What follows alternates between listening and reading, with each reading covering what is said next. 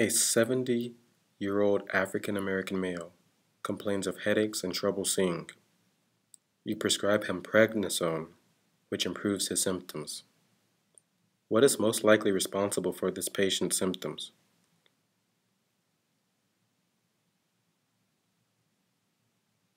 Inflammation of the media. Inflammation of the media. This patient has giant cell arteritis.